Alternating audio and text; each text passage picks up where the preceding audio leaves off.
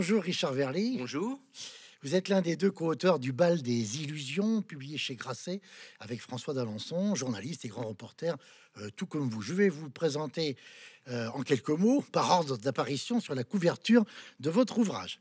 Alors, vous êtes de nationalité suisse, d'un genre un peu particulier, puisque, si mes informations sont bonnes, né à Neuilly-sur-Seine. Vous êtes en réalité franco-suisse, mais je pense pas pour les mêmes raisons que les propriétaires de Chanel. Euh, vous poursuivez avec ce dernier livre l'auscultation d'une patiente nommée France.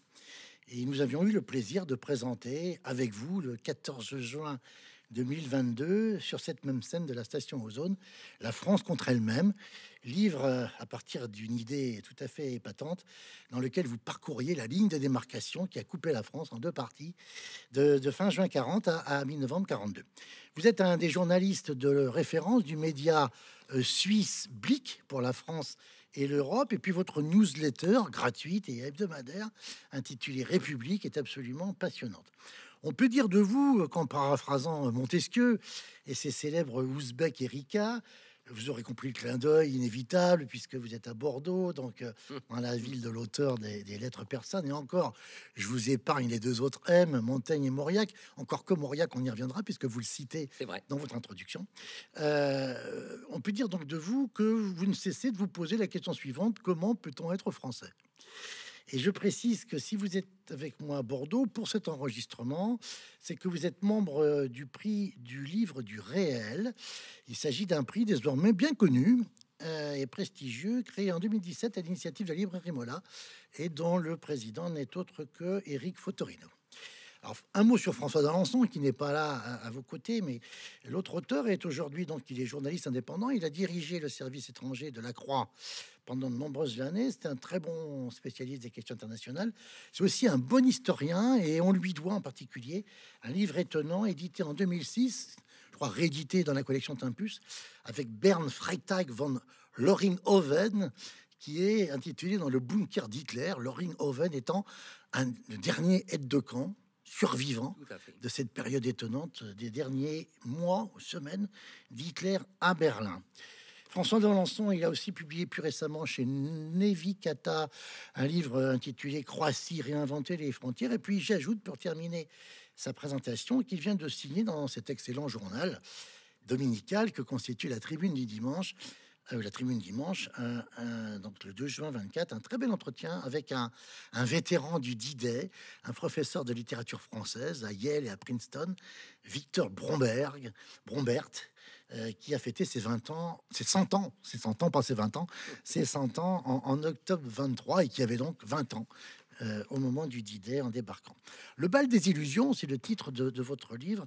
C'est un titre qui fait tout à la fois penser à la très belle chanson de Michel Polnareff, Le bal des Lazes, texte et musique très 60s, années 68, qui décrit une société aristocratique euh, victorienne, arrogante, confrontée à ce qui semble bien être aussi sa fin prochaine, du fait d'un adversaire roturier. Euh, Paul Narev dit je suis, enfin il fait dire je suis le fou que l'on toise, mais c'est aussi un potentiel révolutionnaire euh, qui va tout faire pour abattre ce monde emblématique d'un 19e siècle forgé par l'injustice sociale. Et puis bien entendu, les illusions, on pense aux illusions perdues de, de, de de Balzac.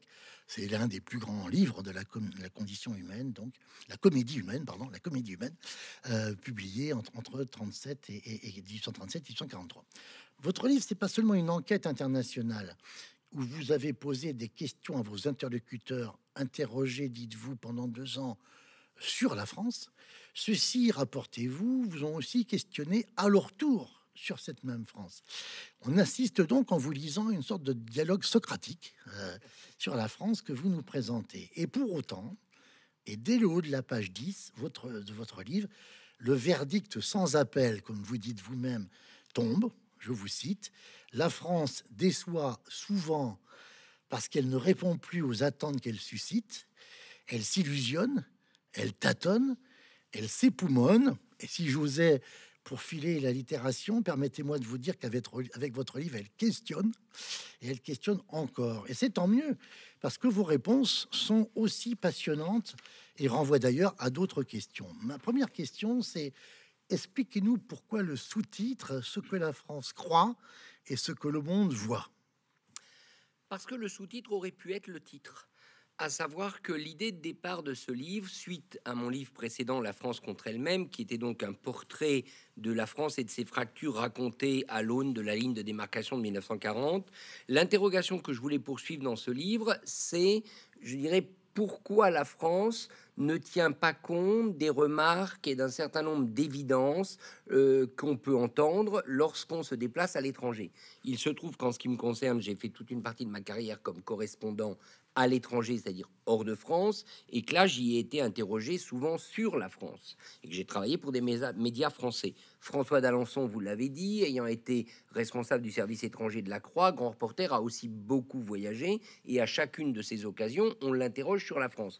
Or, nous savions, lui comme moi, euh, que la France vue de l'étranger ne ressemble pas à ce que l'on entend ici et au portrait que l'on en fait, notamment que les dirigeants français, aussi bien politiques, économiques, euh, sociétaux, en font. Et donc ça, c'était le point de départ. Donc essayer de mesurer la différence qui existe entre ce que la France croit, on aurait pu dire ce que les Français entendent ou ce que les Français pensent et ce que le monde voit, parce que les réalités que l'on observe vu du monde et que les, personnes que l'on est allé voir ont expliqué, ce sont des réalités qui ne correspondent pas à l'image que l'on a ici de la puissance française, de l'influence française, etc., etc. Donc, explorer au fond ce fossé qui malheureusement devient par moments un peu un précipice entre les convictions françaises et les perceptions étrangères et internationales.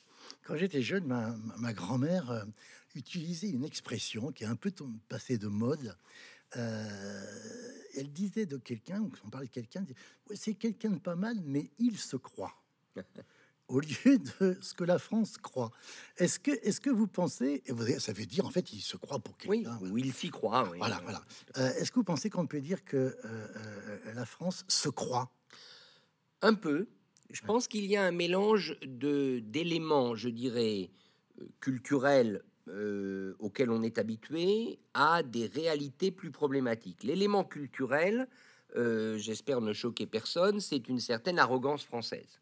Ça, vous qui avez sans doute pas mal voyagé aussi, c'est quelque chose qu'on entend de manière régulière, à savoir que les Français ont une fatale tendance à être, sinon arrogants, du moins à être dans l'incantation, mhm. à souvent, euh, euh, je dirais, parler beaucoup, donner beaucoup de leçons. Se la pète, comme on dit aujourd'hui. Un peu. Euh, ça, c'est, je dirais, le côté culturel auquel on est habitué. il n'est pas nouveau et d'une certaine manière, il va avec l'originalité, la pertinence de la pensée française. Euh, c'est comme ça aussi que la France a acquis son rayonnement. Mais il y a une autre réalité qui est celle des problèmes d'aujourd'hui, des difficultés. C'est-à-dire que la France n'arrive pas, sans doute pour les raisons que je viens d'évoquer, à se faire à sa dimension de 2024. La dimension de 2024, c'est celle d'une puissance moyenne, c'est celle d'une puissance qui doit faire face à l'intérieur à des fractures très problématiques qui semblent ne pas vouloir se régler, voire peut-être euh, augmenter. C'est une société qui s'interroge sur son avenir. C'est une, c'est un pays qui par ailleurs a des problèmes récurrents de déficit et de finances publiques qui n'ont pas été réglés. Et c'est un pays qui continue de vouloir être leader en Europe, notamment sous la présidence d'Emmanuel Macron, mais avec peu d'arguments pour justifier ce leadership, à part l'argument de la parole.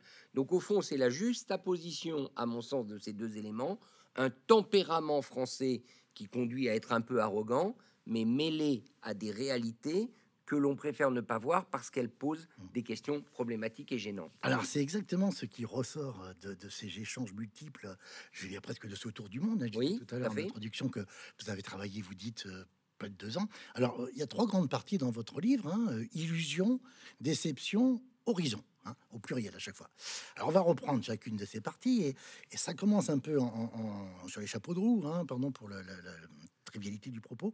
C'est un essayiste américain qui vous reçoit dans son bureau d'un think tank euh, qui s'appelle l'Hudson Institute à Washington. Il dessine un, portrait euh, des Français qui ne manquent pas de sévérité. Et, par rapport à ce que vous venez de dire, Richard, d'une certaine façon, il, à la fois il le complète et, il, le, creuse, si je puis dire, au sens de il va plus loin. Que voulez-vous, vous dit-il Les Français ne connaissent pas de milieu.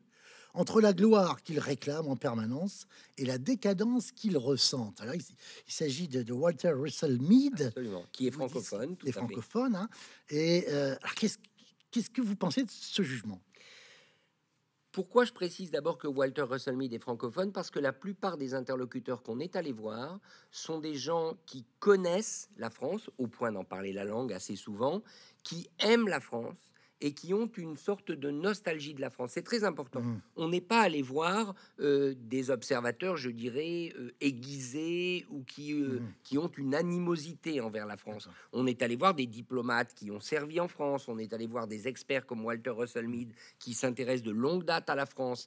Donc, on est allé voir des gens qui ont une envie de France. Francophone et francophile. Alors, assez souvent francophone et francophile, pas toujours, mais assez souvent. Or, qu'est-ce que ce que dit Walter Russell Mead C'est une évidence, c'est-à-dire il y a ce tempérament français sur lequel je ne reviens pas, c'est-à-dire ce goût de la gloire, ce goût de l'affirmation un tantinet péremptoire, et il y a cette hantise du déclin. Il y a cette hantise du déclin qui est nourrie par un par une double, je dirais, un double brasier, un double carburant. Le premier carburant, c'est que les Français leurs dirigeants politiques ont peut-être tendance à l'oublier, mais les Français sont lucides. Ils voyagent aussi. Ils voient bien que la puissance de la France, dont on leur ressasse en permanence les oreilles, elle n'est plus tout à fait au rendez-vous. Donc il y a un élément de lucidité et assez souvent, la population est plus lucide que ses dirigeants mmh. sur l'état de la France. Ça, c'est le premier élément. Mais ça, ça angoisse parce mmh. qu'on se dit, alors on est à ce point tombé bas euh, on est à ce point en difficulté, c'est quand même un discours qu'on n'a pas envie d'entendre parce que c'est un discours qui vous remet en question. Et le deuxième élément, je crois, qui, qui nourrit cette euh, hantise de la décadence, c'est qu'il y a des paramètres très français, certains paramètres qui, je dirais, jusque dans les années 90, faisaient quasiment de manière unanime la fierté de la France et d'être français. C'était quoi? C'était les services publics, ne l'oublions pas, les services publics. C'était évidemment, je dirais, la place de la France euh, euh, dans l'Europe incontestée, et c'était, je dirais, la survivance d'un certain empire colonial. On pourrait y revenir. L'empire n'était plus colonial, ce n'était plus un empire, mais il y avait ce qu'on appelait la France-Afrique. Elle était turbulente, mais en gros, la France pouvait dire, et moi je l'ai souvent entendu dire, dans cette partie du monde, c'est nous qui menons la danse.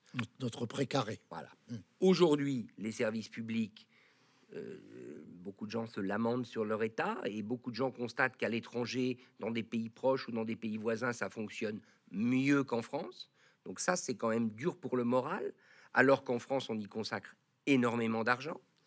Deuxièmement, le leadership en Europe, on en a parlé. Certes, Emmanuel Macron parle beaucoup, mais est-ce que la France est encore une puissance motrice? On voit que le tandem, le moteur, le couple franco-allemand a quand même euh, pas mal de ratés et de difficultés. Et enfin, troisième élément euh, euh, dont on parle, c'est cette question de la, de la grandeur, de la capacité de la France, au fond, à à être le chef d'orchestre d'une partie du monde, eh bien en Afrique c'est plus le cas. Mhm. Euh, et la France-Afrique, elle n'existe plus à tel point, vous le savez, que les soldats français se sont fait expulser du Mali, du Burkina, et que maintenant même l'allié et, du Niger, du Niger, et même l'allié, le plus proche, le Tchad, ça c'est compliqué, le, Sénégal, aussi. Mhm. Et donc, euh, vous savez, c'est très intéressant. On est allé aux États-Unis le moment où nous avons interviewé Russell Mead et on a vu, on est allé au département d'État et au département de la Défense. Et on a vu un officier supérieur du département de la défense américain qui connaît bien l'Afrique, qui nous a dit, mais nous, pour nous, la France, jusqu'à il y a trois ans, c'était le partenaire indispensable pour nos opérations africaines. Nous avions besoin de la France et on s'appuyait sur la France. Mais maintenant, c'est plus le cas. On a compris qu'on doit faire sans la France. Et donc, je crois que dans l'imaginaire politique français, ne plus avoir mmh cette survivance d'empire, on pourrait ajouter à ça quelque chose de très récent, les événements en Nouvelle-Calédonie, mhm. les événements à Mayotte, c'est-à-dire y compris dans les territoires d'outre-mer, on a quand même l'impression que la capacité de la France à gérer ses possessions lointaines euh, n'est pas toujours au rendez-vous. On ne sait pas si, par exemple, la France va pouvoir surmonter le traumatisme d'aujourd'hui en Nouvelle-Calédonie. Mhm. Donc voilà, voilà trois fondamentaux service public, leadership européen et disons prédominance ex-empire colonial qui sont durablement fissurés et qui pose, à mon sens, un vrai problème euh, à une population française et notamment à une élite française qui semble ne pas toujours l'avoir compris et ne pas toujours en tirer les conséquences. Alors c'est pour cela que quand vous rencontrez euh, quelqu'un qui s'appelle Patrick White, qui Oui, est directeur À Montréal, du programme journaliste de l'UCAM. Alors, l'UCAM, vous le dites pas dans le livre, mais l'UCAM, à une époque, c'était un des foyers du marxisme Absolument. militant à, à Montréal, l'Université Université du Québec à Montréal. absolument. euh, en, plein, en plein centre de Montréal, d'ailleurs, Mhm. l'UCAM.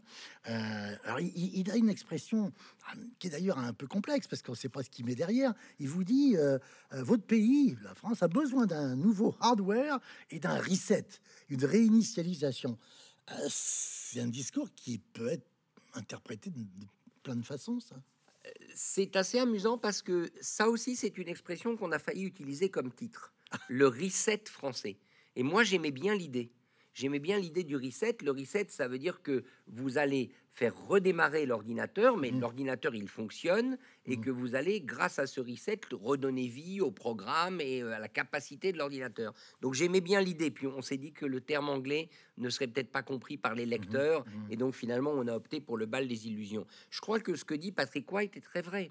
C'est-à-dire que euh, ce n'est pas tant le la- l'armature française, la carrosserie qui est Mm. en cause. Au fond, la structure française est une structure qui fonctionne. Les institutions sont solides, on n'arrête pas de le dire. Et c'est d'ailleurs euh, une des raisons pour lesquelles les Français sont rassurés. Leurs institutions fonctionnent. Mais le système opératoire, pour reprendre un langage o- Mm. informatique, Mhm, mhm. euh, eh bien lui, il a, il a de plus en plus de problèmes parce que sa mémoire est de plus en plus encombrée, euh, il y a de plus en plus de bugs quand on l'utilise, etc., etc.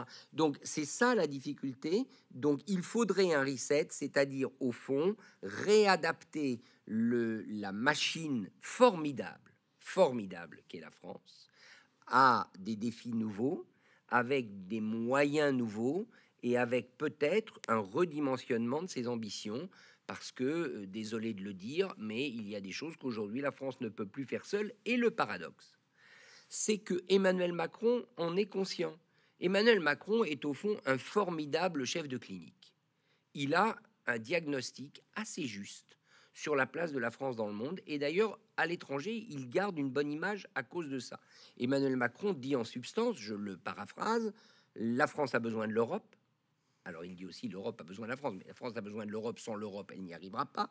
Il dit la France a besoin de partenaires, il a inventé ce, con- ce concept de puissance partenariale.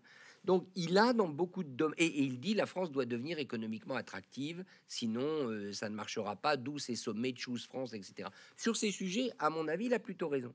La difficulté, c'est que la mise en musique derrière, la capacité à mettre en œuvre ces éléments, elle n'est pas au rendez-vous. Parce que euh, si c'est un excellent chef de clinique pour le diagnostic, on a un peu l'impression que côté euh, chirurgie euh, opérative, il est plutôt de l'école de la Hennec et des troupes napoléoniennes. C'est-à-dire que c'est plutôt Jean pute à vif. non? Bravo. Mm. C'est, il a un problème, c'est un bon, je pense, si je peux me permettre l'analogie, il a un bon diagnostic, mais il opère mal, il n'a pas les bons médicaments et il n'aime pas le patient. Alors voilà, ça c'est un Voilà. peu compliqué pour sauver des vies. un peu Bon. exagéré, mais, Alors, mais on- voilà. On, on- on va, on va- on va évoquer, un- alors je vais lire un, un autre clinicien hors pair, euh, puisque c'est ce qu'on en a dit un mot, c'est l'aphorisme de Mauriac que vous citez, euh, euh, et qui est une très belle phrase. Je cite Mauriac, qui, qui est, on va dire, en termes d'analyste de la vie politique de son temps dans le bloc-notes, c'est du niveau de, de Victor Hugo sur chose c'est extraordinaire. Bon.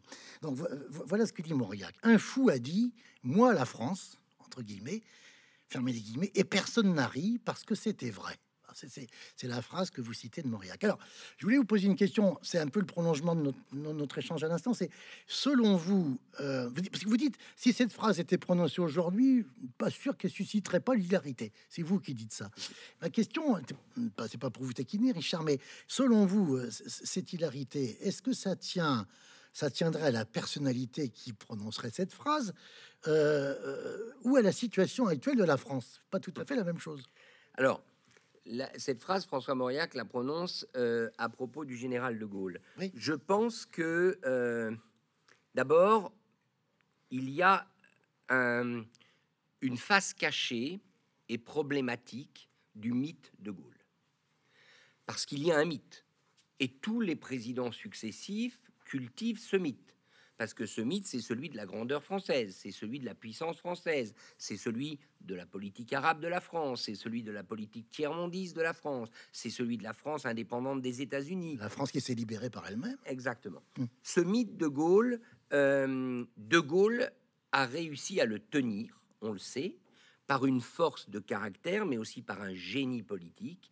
Et les cérémonies du débarquement le prouvent, puisque vous savez que De Gaulle en a été tenu complètement à l'écart, qu'il en a d'ailleurs été fort euh, mari et vexé, jusqu'à ce qu'il arrive à Bayeux le 14 juin, c'est-à-dire huit jours après le débarquement, et qu'à ce moment-là, il y ait une liesse populaire qui parvienne à convaincre les Alliés qu'il faudra faire avec lui, et qu'il est un atout et non pas un handicap. Je, je précise parce qu'il faut bien comprendre, il a été tenu à l'écart des événements du débarquement, Tout à fait. et des cérémonies dont vous devez parler, c'est lui qui s'en est tenu à Ah. l'écart, parce qu'il n'a jamais mis les pieds après. Absolument, il Voilà. préférait aller au débarquement de Provence. Exactement. Voilà. euh, où il y avait une armée française, une véritable Oui, armée française. armée de cas, euh, euh, mais il y a un mythe de Gaulle. Mm. Ce mythe de Gaulle, le général, lui, réussissait à le transformer en vérité. Il a réussi à transformer du plomb en or, en fait, pendant toute la durée de sa carrière.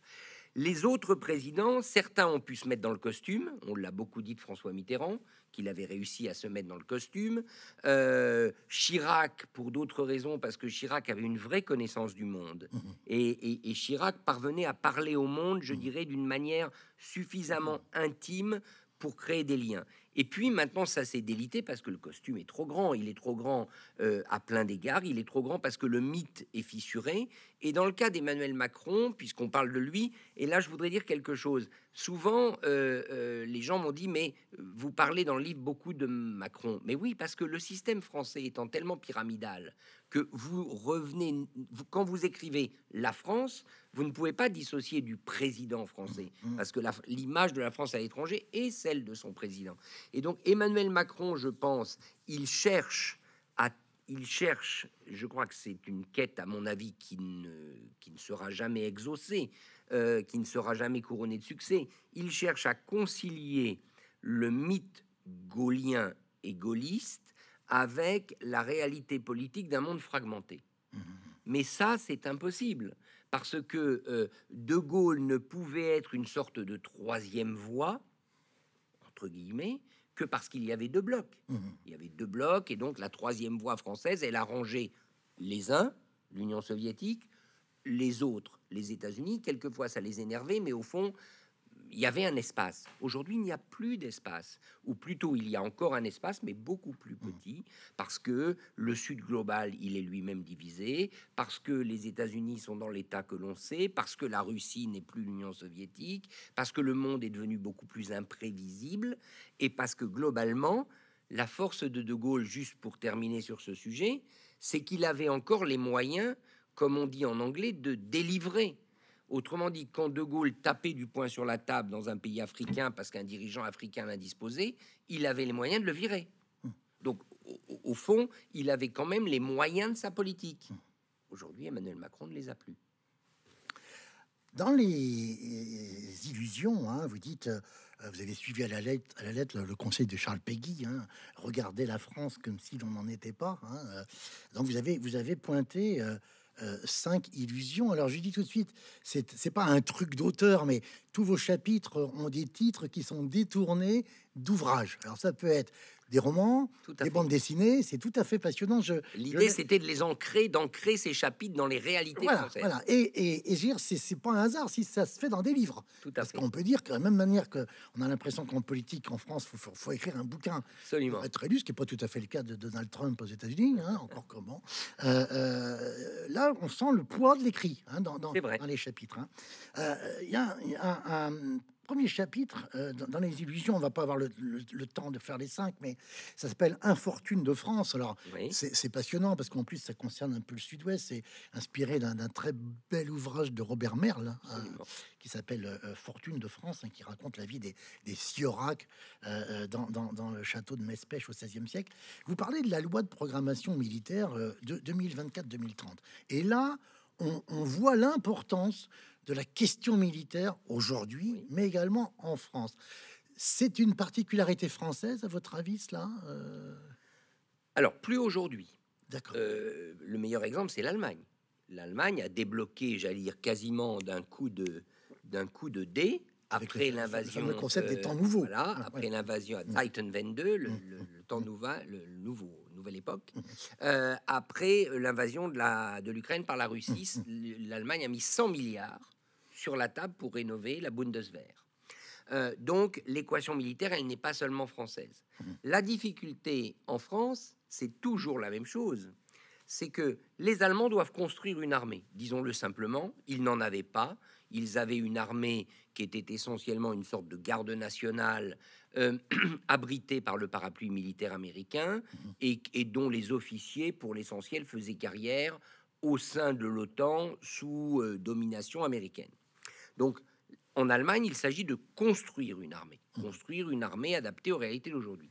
La difficulté de la France, c'est qu'il s'agit de transformer une armée. Et c'est finalement, on le sait dans le monde de l'entreprise, c'est beaucoup plus dur. Vous aviez une armée française qui s'était conçue comme un corps expéditionnaire permanent, avec quelques succès, enfin avec de vrais succès, pas quelques succès, notamment en Afrique. Ce corps expéditionnaire aujourd'hui, on voit qu'on n'en a plus besoin puisqu'on ne va plus mener d'expédition. Euh, parce que euh, on n'arrive plus à les mener, c'est trop lourd, c'est trop compliqué, etc. Et donc il faut transformer cette force en une force plus conventionnelle, destinée à faire face à un ennemi type Russie, c'est-à-dire équipé d'artillerie lourde, prêt à massacrer des populations civiles entières, etc. Et donc la France doit faire les deux efforts en même temps, l'effort financier indispensable parce qu'il faut acheter du matériel ou relancer son industrie, mais aussi l'effort de formation, de renouvellement de doctrine. Et c'est compliqué parce que derrière, j'allais dire presque derrière chaque doctrine, vous avez un prolongement en termes d'industrie, de type de matériel, de type d'investissement, de type de cantonnement, etc. etc. Donc c'est compliqué pour la France. Et pourquoi euh, on, on s'est interrogé beaucoup sur la loi de programmation militaire C'est parce que in fine, se pose la question de l'argent, puisque ça coûte cher une armée. D'abord parce que maintenant, Monsieur Trump a dit que s'il revenait, vous savez, euh, si vous ne payez pas, vous ne serez pas protégé. Donc ça a quand même donné un sacré coup de pied aux fesses à tous les pays membres de l'OTAN. Euh, mais il faut trouver l'argent à mettre sur la table. Et une fois que vous l'avez mis sur la table, il faut décider si vous l'utilisez pour acheter du matériel sur étagère, du matériel américain, ou si vous allez recréer des filières industrielles. Mais dans ce cas, et c'est là que c'est compliqué, ces filières industrielles, elles pourront pas être françaises. Elles devront être européennes. Ça ne vous a pas échappé que le futur avion de chasse sera franco-allemand. SCAF, avec, avec, les difficultés que l'on. Donc vous devrez euh, dire à Dassault, pour citer une entreprise, que euh, l'aventure nationale est terminée, qu'elle deviendra, elle deviendra franco-allemande. Bref, les révolutions que la France a à faire sont très importantes. Euh, et là, l'histoire et la nature sont un peu injustes, il faut bien le dire, puisqu'au fond, les Allemands, en s'abritant derrière le parapluie militaire américain, j'allais dire, ils n'avaient jamais été mouillés. Mmh. C'est comme ça. Mmh. Et donc, euh, c'est plus facile aujourd'hui pour l'Allemagne de, de, faire cette révolution de la Zeitenwende, du changement des d'époque, que pour la France, parce que en France, eh bien, on doit encore une fois changer de corps doctrinal, changer d'approche, au fond, se remettre en question. Alors là, on voit que tout est lié. Euh, vous parlez défense, on peut aussi parler nation, et c'est ce qui relève d'un entretien que vous avez avec une personnalité tout à fait remarquable, qui est l'amiral Rogel, oui, ancien. nous sommes allés voir à Brest. Voilà, chef d'état-major particulier de, de deux présidents de la République, hein, François Hollande d'abord et, Emmanuel Macron ensuite. Et pour bien comprendre, c'est une réflexion que m'avait faite un de ses prédécesseurs, le général Georges Olin, euh, oui, bien sûr, tragiquement. il, m'avait expliqué qu'on avait plus de pouvoir quand on était, il avait occupé les deux fonctions, lui, quand on était CEMP, c'est-à-dire chef d'état-major particulier du chef de l'État, plutôt que chef d'état-major des armées. Hein. Le, CEMP, c'est vraiment le, patron, ce qui renforce. C'est le, conseiller militaire. le poidd du chef, du chef, chef de l'État, chef des armées. Alors c'est très intéressant parce que euh, Roger les Breton et il vous cite Renan, le grand Renan, euh, euh, euh, penseur et breton comme lui, Renan étant très gai, qui, qui, dit en 1882 dans sa fameuse conférence à la Sorbonne, ce qui constitue une nation, dit Renan, c'est d'avoir fait ensemble de grandes choses dans le passé et de vouloir en faire encore dans l'avenir. Et on se souvient aussi de la fameuse définition de Renan, qu'est-ce qu'une nation? Et Renan dit c'est un plébiscite de tous les jours.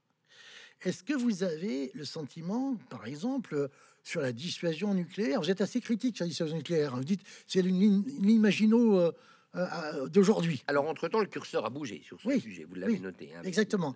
Alors, est-ce que vous pensez que, que justement, la France a, a, par exemple, avec l'histoire de la dissuasion nucléaire, toujours une guerre de retard?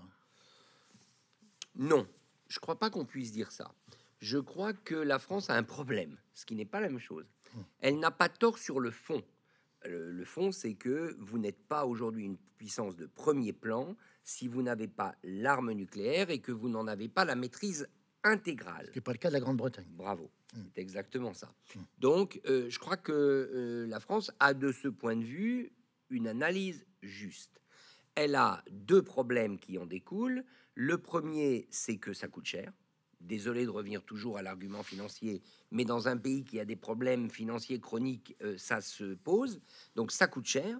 Et deuxièmement, et là, Emmanuel Macron a eu le courage d'empoigner le problème. Et deuxièmement, que veut dire une dissuasion nucléaire nationale lorsque vous êtes intégré à un ensemble européen? C'est une vraie question. Emmanuel Macron, il a osé la poser en disant si des frappes avaient lieu en Allemagne, est-ce que notre intérêt vital de Français ne serait pas menacé et n'exigerait donc pas une réplique? À mon avis, à notre avis, il est évident que oui. Oui, sauf que, pardon, Richard, euh, vous dites sur l'Allemagne, mais si ça frappait en Pologne, ça serait pareil, normalement. Vrai, vrai sujet. Vous posez la question qui, qui est, euh, je dirais, difficile, difficile à résoudre. Alors, il faudra, d'une manière ou d'une autre, en tout cas, c'est ce qu'on explique dans le livre, il faudra trouver un moyen de justifier sur le plan européen l'arme nucléaire française. Ce qui est très compliqué, c'est parce que la commande devra rester française, la commande, l'activation de cette arme nucléaire. Euh, mais il est évident. Alors, vous savez, on a vu euh, dans le livre, vous l'avez sans doute vu, on était allé voir à Berlin Wolfgang Schauble, l'ancien ministre Oui. des Finances allemand, Qui décède euh, décédé maintenant depuis, et qui nous avait reçus au Bundestag, puisqu'il avait été président du Bundestag. Il y avait encore un bureau. Et lui, il avait été très audacieux. Il avait dit, au fond, nous, Allemands, on devrait d'emblée payer la moitié de la dissuasion nucléaire française. Alors qu'il n'était pas réputé pour euh, Tout à fait. avoir l'argent facile. Mais je trouve que c'était une intelligence politique extrême, c'était de dire les Français, au fond c'est ça que ça voulait dire, les Français ne parviendront pas par eux-mêmes, pour des raisons politiques, à européaniser la dissuasion nucléaire. C'est pas possible. Le, le- le schéma mental français ne le permettra pas. Si nous on paye la moitié volontairement d'emblée, on provoquera à un moment donné ce changement de mentalité. Je trouve que c'était très intelligent et courageux de sa part, et je pense que c'est ce que devraient faire les Allemands. C'est de dire aux Français, on vous paye la moitié de la diffusion. Vous en gardez le commandement, vous la gardez telle qu'elle, mais ça entraînera, ça ouvrira un débat qui, à mon avis, est salutaire. Alors, on va terminer sur la première partie et page 128. Vous, racontez que vous avez suivi Emmanuel Macron euh, au fil de, de sommets européens. Alors, je ne sais pas si c'est François d'Alençon ou vous, Oui, ou tous les deux. hein, Oui, euh, Vous avez noté qu'il a une manière bien à lui de fonctionner dans un tel contexte. Euh, Vous expliquez que cette méthode est à l'exact opposé de celle d'un départ fondateur de l'Europe unie, euh, Jean Mhm. Monnet. Et, et- et au point, écrivez-vous, page 135, je vous cite, que le refrain d'Emmanuel Macron et de ses partisans finit par ne plus être audible, voire par lasser les partenaires de la France. C'est assez euh, sévère comme appréciation. Euh, vous pensez qu'Emmanuel Macron parle trop, à, tort et à travers, euh, sur la scène internationale? Un peu. Oui. Je pense surtout qu'Emmanuel Macron, je le compare à Jean Monnet, nous le comparons à Jean Monnet euh, pour deux raisons essentielles. D'abord, Emmanuel Macron, contrairement à Monnet, il n'a pas de méthode. Il y a un côté chien fou chez Emmanuel Macron. C'est-à-dire, j'avance, j'avance des propositions, euh, comprenne qui pourra, advienne qui pourra. Vous voyez ce que je veux dire?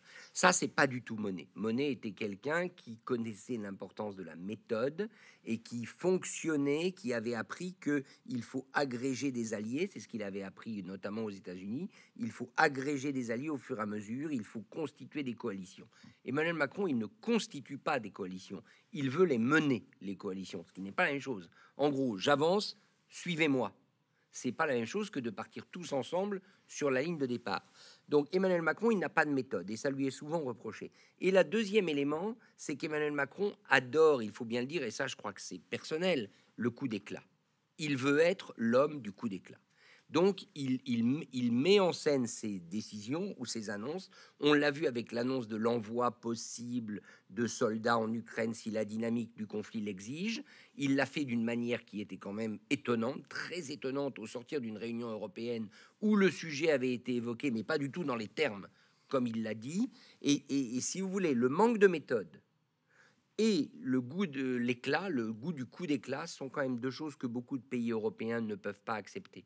Euh, d'abord parce que eux, ils veulent de la méthode, et deuxièmement parce qu'ils sont fatigués que la France veuille toujours, au fond, avoir la lumière et prendre la lumière. Et Macron est quand même quelqu'un qui prend beaucoup de lumière, et donc naturellement, ça fait des, jalousies.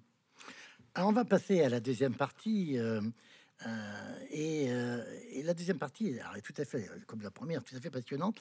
Et je voudrais qu'on aborde une personnalité que j'ai eu la, grande chance de, rencontrer dans ma vie, euh, Bronislaw Geremek, donc grand historien, médiéviste, homme politique polonais, remarquable et absolument passionnant, francophile passionné, grand spécialiste de la pauvreté au Moyen Âge. il s'exprimait d'ailleurs pratiquement sans aucun accent. Hein. C'est vrai. Euh, enfant juif, échappé du ghetto de Varsovie euh, en 43, en 11 ans, euh, caché, enfant caché en Pologne, seul survivant de sa famille, et il s'est tué terrible, c'est un accident terrible, le 13 juillet 2008, dans un accident de voiture euh, du côté de Poznań, à, l'âge de 76 ans. Alors, vous, vous, nous rapportez que vous avez eu l'occasion d'échanger avec lui euh, quelques mois avant sa disparition. Donc, on est, euh, on est au début de l'année 2008. Son analyse, qui date de 15 ans maintenant, il dit il, existe deux crises à l'époque hein, qui frappaient simultanément le vieux continent et donc la France. Euh, c'est page 147 de votre livre. Il dit, il y a la crise de la civilisation européenne et celle de l'intégration européenne. Elles sont de nature différente, dit-il, mais c'est leur rencontre qui crée le climat de morosité générale en Europe. Or, l'on ne pourra en sortir, dit-il, que si l'intégration est un succès. ces propos qui sont tenus quatre ans un peu, moins, un peu moins de quatre ans après l'adhésion des dix euh, nouveaux États du, au 1er mai 2004, lesquels dix nouveaux États, en dehors de Chypre et Malte, étaient dans le glacis soviétique, et même trois étaient des républiques socialistes soviétiques, l'Estonie, la, la, Lettonie et la Lituanie. Euh, qu'en est-il aujourd'hui de, l'analyse de Guérémec? Euh, L'intégration a-t-elle été un succès, selon vous?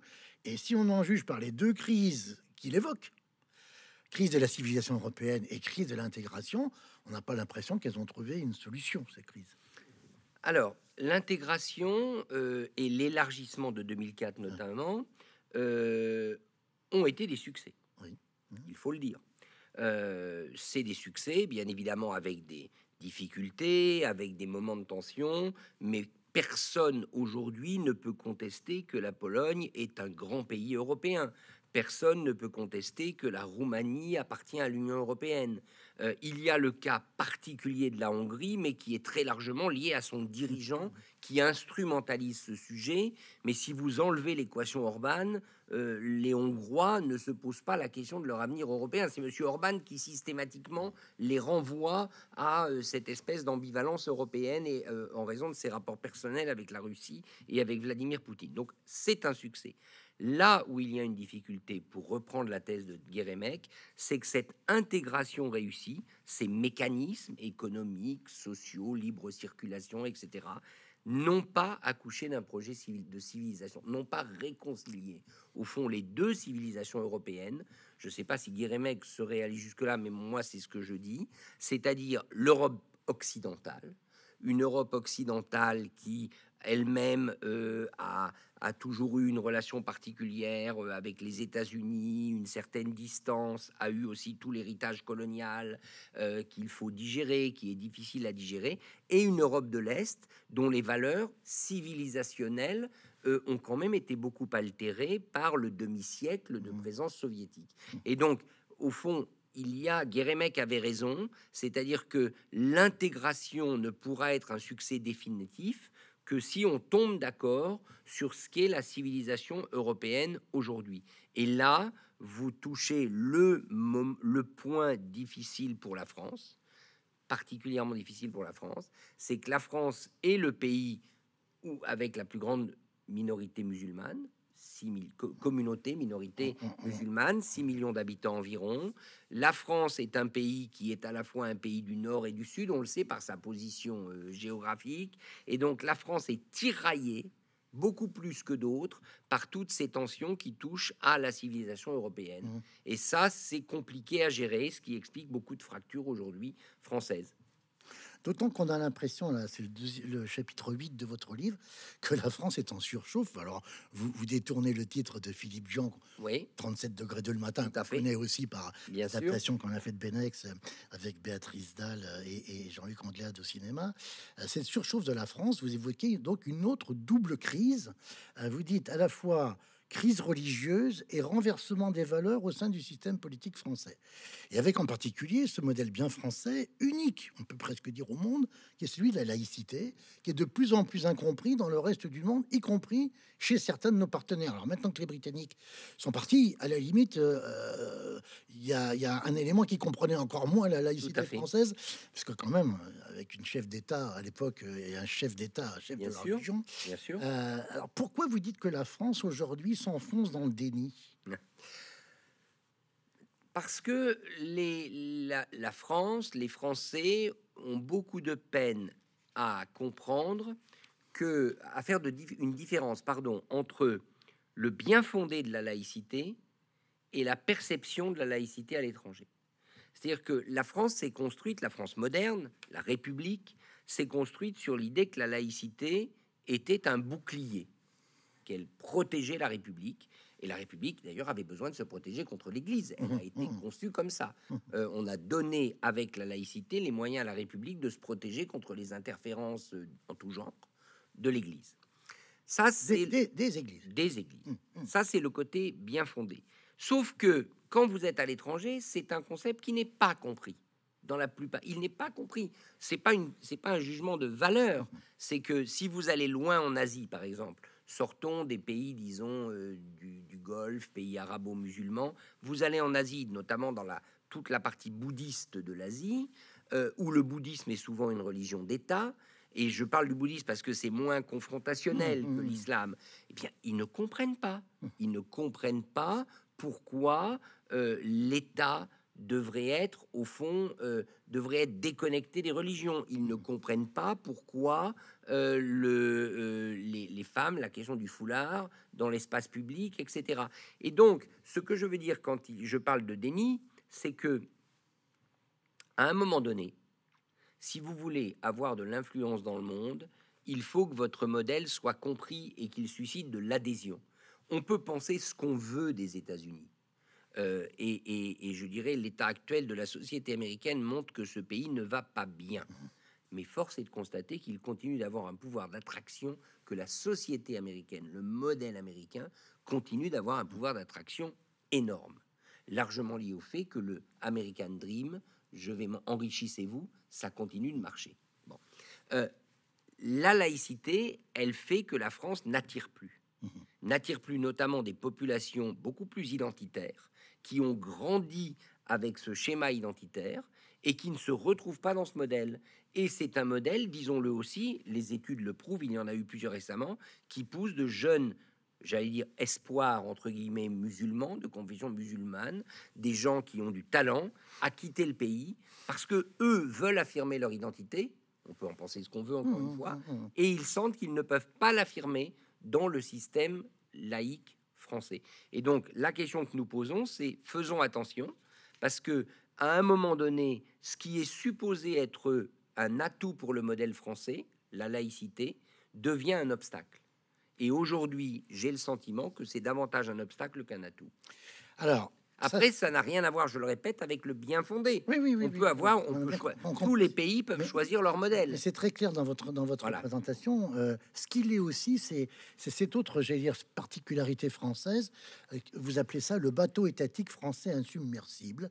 Alors là, vous êtes parti de, du livre euh, très très très sympathique, La bicyclette bleue de, de, de Régine Desforges mais vous citez aussi euh, Robert Badinter euh, dans son livre euh, Jugé après Vichy, qui, qui évoque le seul juge qui refusa de prêter serment au maréchal Pétain le 2 septembre 41. C'est le juge Paul Didier, hein, qui a été interné aussitôt au camp de Chateaubriand. Alors, je ne sais pas si vous le savez, Richard, mais ce n'est qu'en 97 que son nom a été donné à une promotion de l'école nationale de la magistrature. Euh, Bravo.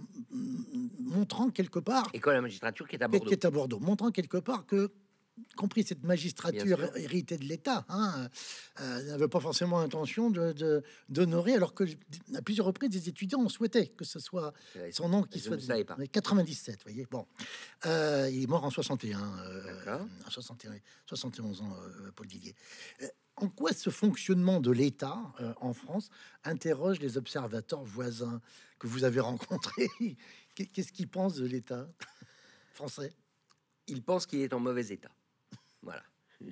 Ils pensent qu'il est en mauvais état parce que euh, euh, il, voit bien que l'État français. Alors, d'un point de vue, essayons de. Et encore une fois, c'est toujours difficile de généraliser, mais prenons l'aspect économique le monde dans lequel nous vivons aujourd'hui, le monde réel, est un monde libéral, que d'ailleurs en France on appelle en général ultra-libéral, c'est-à-dire un monde où les entreprises pèsent souvent plus lourd que les États, certaines entreprises. Et donc l'État français, qui est quand même un État très dirigiste, qui continue de vouloir avoir une place importante dans l'économie, c'est quand même une anomalie.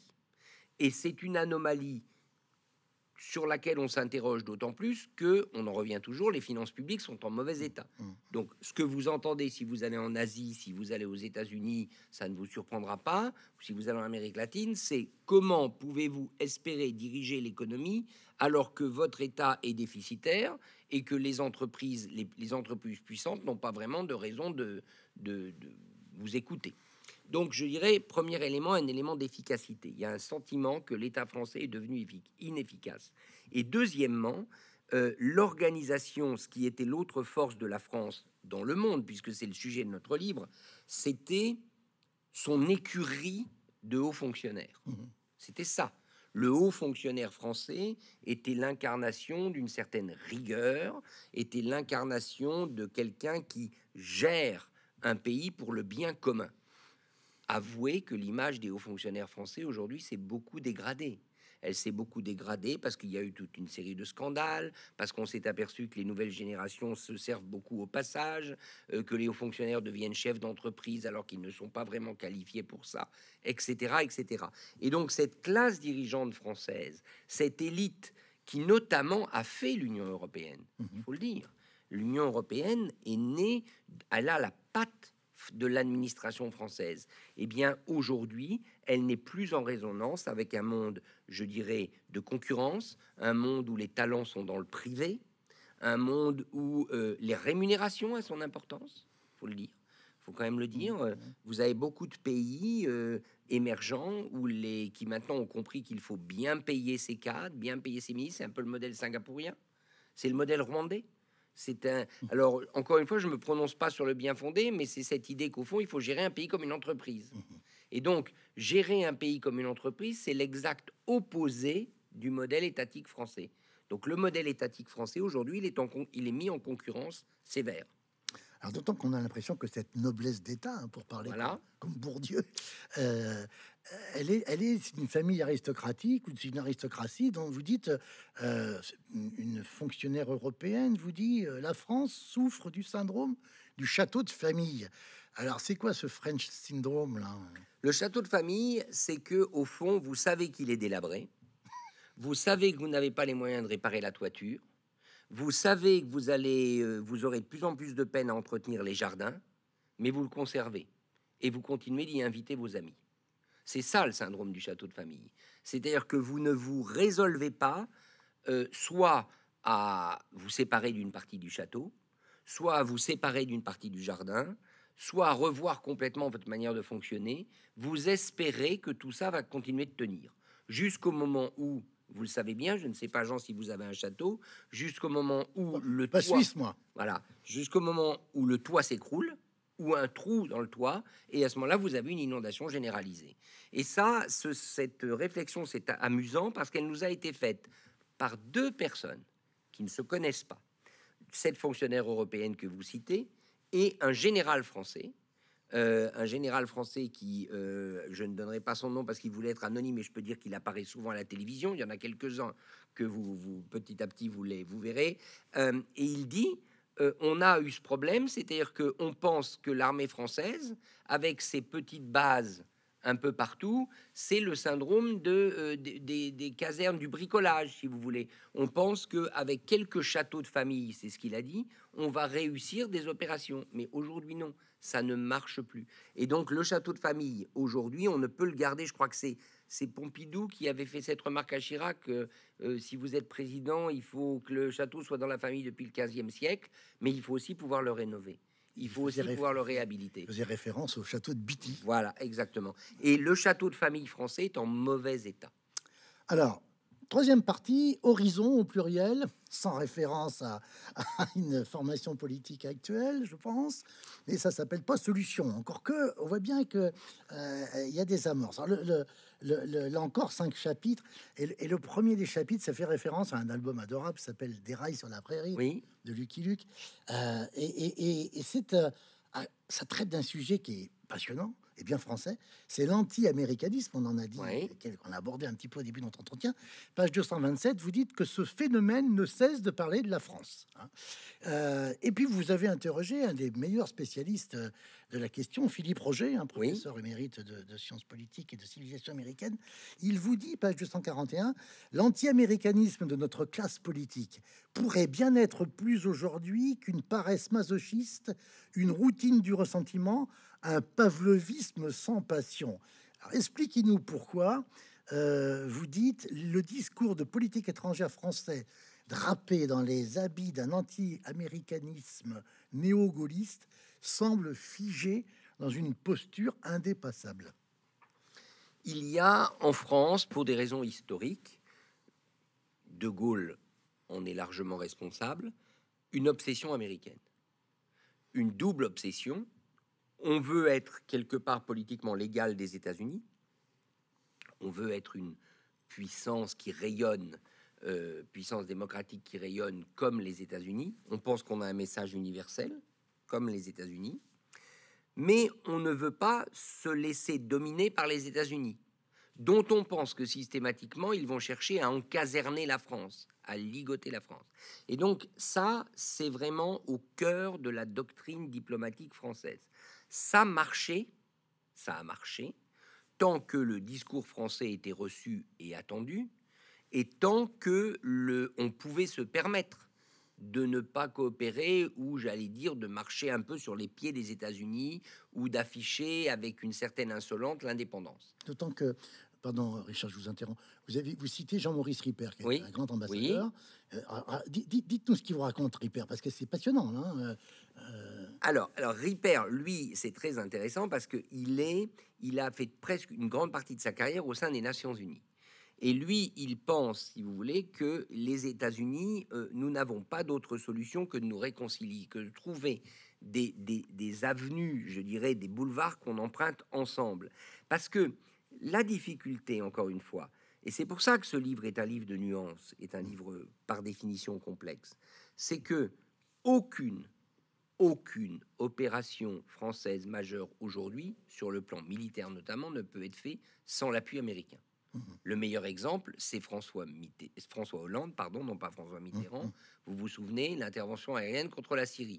Le moment où Obama dit finalement j'y vais mmh. pas, Hollande n'a pas d'autre solution que de faire descendre les pilotes du cockpit hmm. des Mirages ou des Rafales dans lesquels quand, ils Quand on l'interroge aujourd'hui sur ce fait précis, c'est un des, des, rares fois où il confesse son regret. Absolument. Hmm.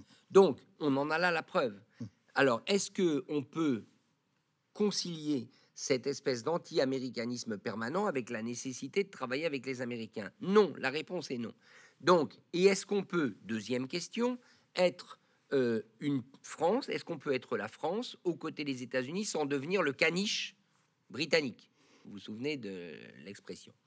Eh bien, moi, je pense que oui, et beaucoup de gens le pensent, mais ça suppose d'arrêter de dépenser son énergie folle à contrecarrer toujours la parole américaine. Alors, il faut reconnaître que ces temps-ci, la guerre en Ukraine a au fond été la réponse concrète à ce que je viens de dire. La guerre en Ukraine, elle oblige toutes les parties prenantes, y compris la France, à fonctionner avec les États-Unis, à fonctionner en bonne entente avec les États-Unis. Il n'y a pas d'autre solution. Là où notre raisonnement, je l'avoue, là où il y a une brèche dans notre raisonnement, c'est peut-on rester pro-américain, ou en tout cas bien intentionné à l'égard des Américains, si Trump revient au pouvoir? Et là, je reconnais que euh, c'est facile de, de, faire, comme on le dit, de donner prise à cette critique de l'anti-américanisme français lorsque le gouvernement américain est bien intentionné. S'il est mal intentionné, ce serait faire un mauvais reproche à la France que de lui dire il ne faut pas prendre de distance. Donc sur ce sujet de l'anti-américanisme et compte tenu de Trump, je reconnais que c'est difficile aujourd'hui, franchement, de choisir quel mmh. chemin. Oui, parce qu'à un moment, vous évoquez ce que vous appelez la tragédie de l'AUKUS. Alors, c'est la fameuse histoire des sous-marins australiens. Euh, bon, voilà. Donc, je rappelle, c'est les États-Unis et, la Grande-Bretagne nous piquent, entre guillemets, le fameux. Tout à fait. sauf qu'on a découvert que c'était un petit peu plus compliqué que, que, ce, que, ce qui a été vendu, si je puis dire. Et, euh, et ce qui est très intéressant, c'est que finalement, quand on, quand on vous lit, on a, on a l'impression qu'on passe de la, de la tragédie à une sorte de presque de comédie de boulevard ou de tragicomédie. Vous dites, ça se termine toujours, ce psychodrame répétitif, en, sur le mode du je t'aime moi non plus. Oui. C'est vrai, sauf peut-être avec Trump. D'accord. Là, j'insiste sur ce point parce que nous, on fait ces interviews. Vous avez parlé des deux années d'enquête. Nos mmh. deux années d'enquête correspondent grosso modo aux deux premières années de Biden. D'accord, d'accord. Voilà. Euh, les interlocuteurs qu'on a vus aux États-Unis ne nous auraient peut-être pas fait les mêmes réponses mmh, mmh. si Trump était président des États-Unis. Vous voyez ce que je veux mmh, dire Donc, euh, euh, il est vrai que euh, aujourd'hui, de toute manière, la France n'a pas d'autre solution que de fonctionner en bonne intelligence avec les États-Unis. Elle n'a pas d'autre solution que d'être un bon élève au sein de l'OTAN. Et elle a, on a tous compris que de toute manière, l'autonomie européenne de défense ne serait pas une autonomie hors OTAN. Mmh, mmh, mmh, Ça, c'est clair. Par contre, je le répète, qu'advient-il si Trump revient au pouvoir? Parce qu'à ce moment-là, si Trump revient au pouvoir, il faut reconnaître que l'argument qui consiste à dire il faut trouver des bonnes formules avec les États-Unis sera un argument qui aura peut-être trouvé ses limites. Mais euh, d'abord, Trump n'est pas revenu au pouvoir. Et deuxièmement, peut-être qu'une fois au pouvoir, il ne sera pas la caricature hmm. qu'il prétend être aujourd'hui. Mais là, malheureusement, on peut en douter. Le pire peut être sûr avec lui. On n'a pas le temps de, de, rentrer dans le détail de cette troisième partie qui est aussi passionnante que les, que les, que les deux premières. Mais il y, a un point sur lequel je ne peux pas ne pas vous interroger. C'est sur le petit essai de Pascal Horry, l'excellent Pascal Horry, très grand historien, euh, publié dans la collection Tract de, chez Gallimard. Euh, alors, il, son titre est emprunté à la fameuse phrase du, du, du général de Gaulle dans une allocution télévisée le 29 janvier 60 à propos de la semaine des barricades à Alger. Et on se souvient de cette expression Eh bien, mon cher et vieux pays, dit De Gaulle. Et le titre de Pascal Horry, c'est Ce cher et vieux pays. Alors, il, y tient une thèse que je vais vous rappeler, mais vous la connaissez fort bien, euh, Richard, c'est. Euh, vous la qualifiez d'amusante. Euh, il dit ceci La Suisse dessine une figure qui est dans chacun de ses détails l'exact inverse de ce qui se passe en France. Il dit même que la, la, Suisse est inventée en quelque sorte pour servir de contre-miroir à la France. Compromis, coalition, décentralisation, directoire, dit-il, renversez ces quatre termes et vous obtiendrez la France. Alors, qu'est-ce que vous en pensez, vous, le franco-suisse, qui connaît aussi bien l'un et l'autre des deux pays? Je pense que, euh, et je l'ai dit à Pascal Horry, on en a souvent parlé, il faudrait ajouter à son petit opus un élément que nous avons apporté dans le livre au fil de nos entretiens. C'est que la Suisse ne fait pas envie alors que la France fait envie. Ne l'oublions quand même pas. Ne l'oublions pas. Parce que j'ai souvent des questions sur la Suisse, sur le thème est-ce que c'est le pays parfait, la démocratie parfaite, ça fonctionne si bien? C'est vrai que ça fonctionne pas mal, mais n'oublions pas que la France a eu cette capacité, et elle l'a toujours, de séduire, de donner envie, d'avoir d'être aux avant-postes, on peut pas dire la même chose de la Suisse. Donc ça, c'est une remarque que je fais systématiquement à Pascal Horry quand on en parle. Ne, négligeons pas cette dimension-là. Après, sur les quatre autres éléments que vous avez évoqués, c'est-à-dire le compromis, Mmh. le, la décentralisation, la des Coalition. coalitions et puis euh, la décentralisation, Décentralisation. directoire, Mmh. oui, ce sont quatre ou cinq éléments qui manquent à la France. Et ce sont quatre ou cinq éléments, je crois, s'ils arrivaient à être importés, non pas copiés, mais un peu importés, ils feraient du bien au système français aujourd'hui. On va les passer en revue. Mhm. Compromis, ça veut dire qu'on arriverait à surmonter les fractures. Euh, très franchement, si vous voulez être entendu dans le monde, si vous voulez avoir une influence, mieux vaut être capable d'avoir une voix forte, convergente, une voix unie. Je crois que le compromis est une bonne chose. Coalition, ça nous amène à l'Europe. Emmanuel Macron veut des coalitions, mais lui devant, tous derrière. Mais la France a besoin de coalitions. Décentralisation, est-ce que c'est pas ça la solution pour retrouver de l'efficacité dans le domaine notamment des services publics? Je pose la question, je n'y réponds pas. Et enfin, euh, sur le plan, je dirais, de la démocratie, moi je pense, et je l'avais dit dans mon précédent livre, que le référendum, euh, que d'ailleurs les Français souhaitent. hein. Tous les sondages montrent que les Français sont à plus de 70% favorables au référendum. Une utilisation plus régulière et moins passionnée Mm. du référendum, une utilisation plus raisonnée du référendum permettrait à mon sens de remettre de l'oxygène dans un système français qui aujourd'hui en manque. On va terminer par l'évocation d'un autre euh, grand connaisseur de la société française, et pour cause, Stanley Hoffman, personnage euh, euh, passionnant et, étonnant, très grand chercheur, euh, très grand euh, spécialiste de sciences politiques, qui a vécu toute son enfance en France, hein, évidemment, là aussi, comme enfant caché. Vous rappelez qu'il a discerné une dualité dans l'action extérieure de la France sous la Ve République. D'une part, la rhétorique exaltante et certains grands gestes de Don Quichotte, et de l'autre, le réalisme terre à terre de euh, Sancho Panza. Et vous dites en quelque sorte que ce mix n'a pas cessé de connaître des rendements de plus en plus décroissants euh, euh, ces derniers temps. Oui, parce que euh, maintenant, dans le monde d'aujourd'hui, qui est celui des réseaux sociaux, il faut aussi le redire, Mm. un monde où l'information circule dans tous les sens et à tous les niveaux, Don Quichotte est nu. Pardonnez-moi de le dire, mais Mm, Don Quichotte ne fait plus illusion. Don Quichotte peut amuser, mais il ne fait plus qu'amuser. Et c'est ça la vraie question. C'est-à-dire que la, la part d'idéalisme que la France veut continuer de véhiculer, la part de Don Quichotisme, je, on pourrait dire parce que vous en parlez, eh bien malheureusement elle ne fonctionne plus parce que systématiquement, tout de suite, vous avez sur les réseaux sociaux, je dirais, le contre-feu qui arrive. Alors quelquefois un contre-feu qui est de la désinformation de la part des ennemis de la France, ou le reality check. Euh, vous savez, la vérification. Et donc, je crois qu'il n'y a plus de place aujourd'hui pour Don Quichotte. Et que Sancho Panza est aussi maigre que Don Quichotte?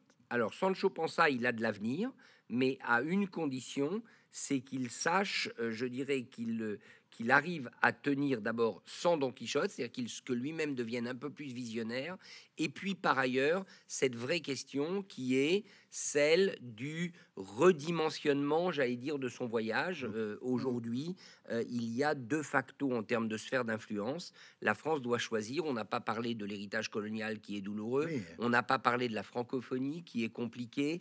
Euh, voilà, il y a un certain nombre d'illusions, puisqu'on avait démarré par ça, qui sont, à mon sens, mais je sais que le constat est sévère et difficile à entendre, qui sont de moins en moins tenables. Alors, ce sont les, les- les trois impératifs de, dans votre conclusion. Je vais, les, je vais les reprendre, Richard, si vous voulez bien.